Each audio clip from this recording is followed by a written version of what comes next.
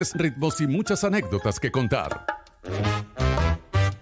Sonando y coleando con Sariel Sarabia.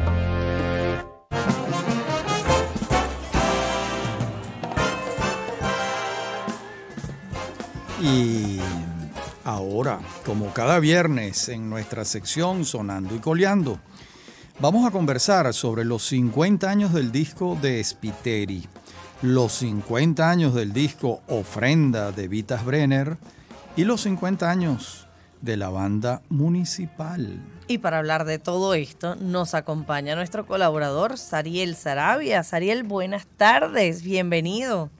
Buenas tardes. Hoy estamos celebrando a cincuentenarios.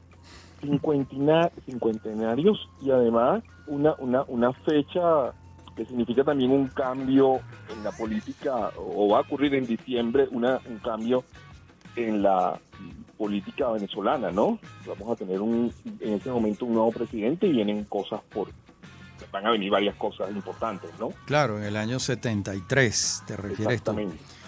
Bueno, empecemos con Spiteri, ¿no? Eh, ahí está, oigan ahí. Ajá.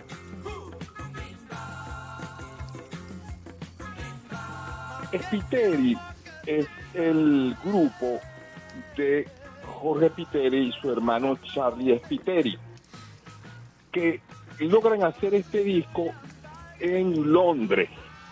Y allí confluyen varios músicos venezolanos, rockeros todos, que vienen de los grupos de los 70 y de, de, los finales de los 60, que hacían vida rockera en el país. Y muchos jóvenes se fueron a rockeros que fueron a Londres, bueno, porque es una meca, ¿no? En, el rock y por, otras razones exactamente.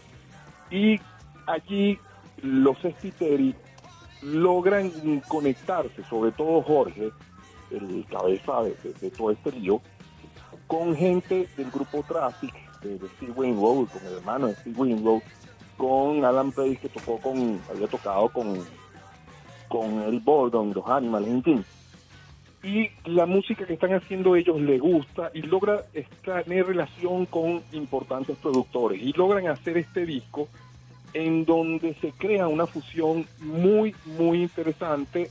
Por primera vez, entre comillas, se graba música mm, tropical venezolana, eh, caribeña venezolana, con el rock. Es una mezcla, eh, ya lo habían hecho antes el grupo Pan de los Quinteros en San Agustín pero en este caso logran hacer un disco muy redondo con el swing del tráfico y del rock del momento eh, allá y bueno pegan en, en la radio venezolana eh, con cierto éxito en las radios juveniles Campesina, una vieja guaracha de exterior Bosca Bruja que eh, la, la, hizo Villo. Claro. o un merengue, el famoso merengue Barlovento del, del maestro Eduardo Serrano. Eso mezclado con el rock, eso significaba una fusión importante en, la música venezolana con el rock. Oh, por cierto, los tres grupos, ¿no? tanto Vitas Brenner como Jerry Whale como Spiteri, son anteriores al boom de la música venezolana que es propiamente de los años 80, ¿verdad? Esto le da un mérito adicional a ellos, ¿no? Pero además ellos son los que fusionan el rock, por decirlo de alguna manera, de manera contundente. El, el, caso de, de le decían que eran los Santana de Londres, en, en, el, underground, eh, pues claro, Santana con, con, la cosa latina, obviamente caribeña, arrasó en el mundo, ¿no? El gusto que adelante. Y en el caso de estos muchachos que eh, que estaban por ahí en los, en, los, teatros pequeños, en los bares, llamaron la atención, solo que eso dura muy poco tiempo, eh, porque no duran más allá del año, bueno, porque son tienen problemas legales, porque como son extranjeros, ahí está además está Michu, Correa, está el Chema, eh, en fin, varios músicos importantes, Joséito Romero, que era un guitarrista excepcional, es un guitarrista muy bueno de rock, y no pueden hacer vida en eh, comercial, por decirlo legal, en, en, Londres y bueno, y muchos se devuelven o se van a España en algunos casos, ¿no? este, pero eso es, es, importante desde el punto de vista de la, de la música en Venezuela, de la historia de la música venezolana popular y del rock. Y además este, ese disco salió, que era una culebra que decía Spiteri, salió en aquel momento, pero este, más nunca, porque era un LP, hasta los 2000 que se vuelve a editar. Ahora, Sariel, cuando estamos hablando de esa Venezuela y, de estos músicos, eh, y pongo el ejemplo de, de Vitas Brenner, y tú hablas de esa fusión con el rock, pero la verdad es que marcaron prácticamente un antes y un después. ¿Cómo sonaba lo que la música en nuestro país antes de 1973? Exacto. En el caso del, del, rock, este, eran músicos, mm, según eh, nos documenta el gran Feliz Ayuda en sus libros, y por lo que recuerdo también, este mm, el, el, rock venezolano en ese momento tiene que ver con música en los 60 que eran sobre todo, eh, digamos, hablando del rock rock, ¿no? Sí. Este, que hacían versiones. Eh, con, y, luego comienzan a hacer más eh, rock duro, pues, ¿no? Los últimos grupos que estaban en el ambiente hacían rock duro. En, en este caso, estos comienzan además se convierte en, decir, en 1973 tú ibas a los conciertos, los pocos que había, y estaba la, la, la tenías que ver a estos grupos, pues, ¿no? Estamos oyendo Morrocoy, ¿verdad? De Vitas Brenner, de fondo, ¿no? Así es. Vamos a escuchar un poquito.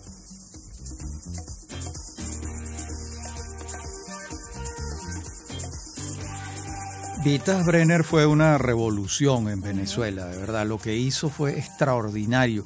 Yo no entiendo por qué no siguió, no sé qué ocurrió con él, es decir, no tuvo como una trayectoria larga, me equivoco. Eh, sí, tienes razón. Él, él, él hace el primer disco en el 70 que se llama Ofrenda, después el grupo se va a llamar Ofrenda, este, y mezcla, pone un arpa en, el, en, el, en, una música progresiva, que era lo, que, lo que hacía él, ¿no?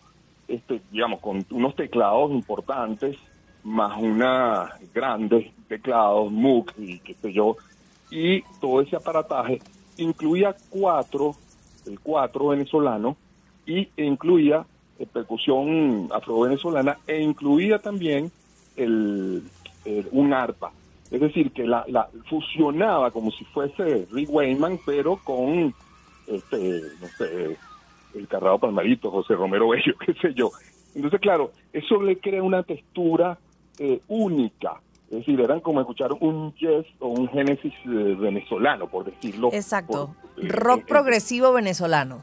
Así es. Y, y, Vitas va a tener cierto éxito en, en, en, la radio, mm, se va a escuchar, e incluso su música va a ser usada también para cuñas y, y y cosas, porque claro, era la cosa electrónica eh, con que, se permitía tener de fondo para ciertas propagandas incluso eh, eh, oficiales, ¿no? Este, Ahora, Vitas había nacido en Alemania y yo, lo, yo lo vinculo con Pablo Schneider también en esa época, ¿no? Sí, como no, Pablo Schneider era más, más, más productor, también tocaba, estuvo vinculado al grupo Cima, eh, pero mm, yo lo vinculo más bien y digo algo interesante. De lo que estamos hablando, los epiteris, bueno, son de son venezolanos, nacieron aquí, pero son de origen italiano. Y en el caso de Vitas y en el caso de Jerry Well, son dos mm, personajes de habla alemana, es decir, eh, uno alemán y el otro austríaco, ¿no? Y son precisamente claro, los que crean... Pero ya va, Vitas llegó aquí de tres años. Sí, sí, claro. Yo incluso creo recordar, Sariel, tú corrígeme, yo recuerdo que él era hijo de Pinchas Brenner, el, el, rabino. El gran rabino. Exactamente. Absolutamente. Sí, o sea que él era un venezolano, porque había llegado aquí de tres años. Sí, sí, sí, sí, claro. Y, y, va a tener una pasantía en, más, creo que en España. Barcelona, sí. En Barcelona. En Barcelona, ok.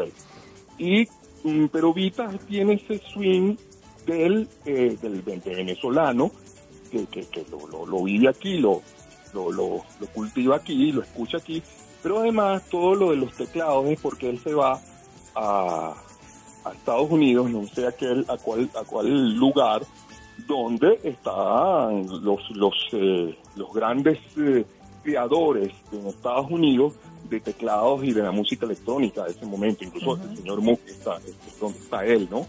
eh, que, que luego crea el MUC. Y, y este, tú me dijiste que qué pasó con él. Bueno, siguió eh, con ofrenda en unos cuatro discos más, después lo hace eh, como muy solo, los sus trabajos, comienza a cantar eh, y bueno, se va diluyendo, ¿no? Bueno, Este, y, y muere muy joven, muere a los 57 años en Salzburgo. Pero, Así es. Sariel, pero se convirtieron en, en músicos de culto. Y Sí, una de las cosas que me llama la atención es que estamos hablando de discos de hace 50 años, cuyos temas no es que sigan vigentes, es que siguen sonando. Increíble. Así, sí. a- a- a- así es, pero es que son una parte importante. Pero lo, lo curioso es, y no es curioso, eh, que, digamos, que todo, estamos hablando de 1973, que es el, el primer disco de Vitas como ofrenda y el primer disco de, y único de Spiteri. Eh, bueno, él después logra otra cosa más, pero eh, el, el nace en el latillo el grupo, este, la banda municipal, La de Jerry Whale. La de Jerry Whale. Sí. Eso se convirtió, fíjense que, que aquí hay algo bien interesante, todos los jóvenes de entonces y por tres años más comenzaron a escuchar esta música que se diferencia incluso de la onda nueva o incluso de Vita, porque lo que utilizan como fusión venezolana es el merengue caraqueño. Mm, Entonces, eh, eh, ahí hay otro swing que es una cosa más urbana. De hecho, ellos se llaman banda municipal porque mm, ellos piensan que son como una como una banda de retreta. eh, al, al- Qué, al qué bonito, ¿no? Sí, claro, claro. ¿Y, y cuán importante la onda nueva el, el- como género eh, y Aldemaro como una influencia? Eh, bueno, el- Aldemaro es el, el, digamos, presenta la onda nueva como, como una mezcla de, del jazz, el pop y, y la música venezolana, pero eso ya, ya es otra historia que, que va a la par de esto, porque estos son más desde el rock, ¿no? En el caso Sí. de Aldemaro es más desde el, de- de- desde el jazz, eh, por, por decirlo de alguna manera. Hay una diferencia allí. Pero Vita es más del rock sinfónico, ¿no? Así es. Sí. Y- Y, muy, muy venezolano, Vitas Brenner. A mí eso me parece impresionante cómo, cómo, cómo hacer eh, música venezolana con, en ese registro, ¿no? No, bueno, pero y, y en el caso de, de, de- de Jerry Wayne también, es decir, que Sí. to- to- todo lo, lo que el- las improvisaciones que hace Caballito Frenado, que lo hace Sí. después, eh, eh, eh, con, un, con, con la Venezuela en la, en la, en la, en la sangre, que, que, que- que- que no la tiene, pero sí la tiene. Pero es que además con Jerry hay una particularidad y es que yo me atrevo a decir que ha sido prácticamente maestro de cuánto Sí. músico ha habido en nuestro país en las últimas generaciones. completamente. Pero la banda municipal, volviendo al tema de los 70, es- es- allí se unen varios personajes interesantes. Vinicio Ludovic, Ah, Edgar Saume, los hermanos Blanco Uribe y, Alejandro, ¿y cómo se llama el otro y hermano? Richard. Richard. ok. Claro, que son de varios mundos, música académica, música rock, y, eh, y, y ya en ese momento mm, Jerry había eh, pasado por el rock y por el jazz. Este, y se mete también en un tema electrónico y todo lo que lo que escuchamos, yo lo escuché de, de- de muy joven eh, a, a la banda municipal eh, y bueno, sonaba algo así como a White Report, a los, los, los grupos de, de- de jazz rock fusión, eh, pero con el swing venezolano.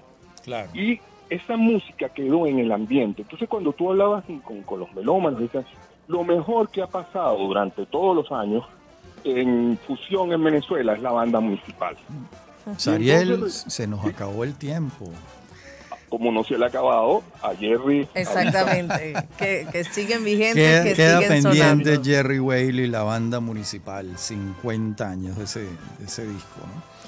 Muchísimas No, gracias. No, no- no es un disco, es No, es la... El disco, el- después lo contamos después porque el cuento del disco es, hace 10 años. Ok, muy bien. Bueno. Bueno, hablaba Sariel Sarabia, el gestor y productor cultural, cronista musical y sobre todo melómano. Bueno, y te decimos, como dice para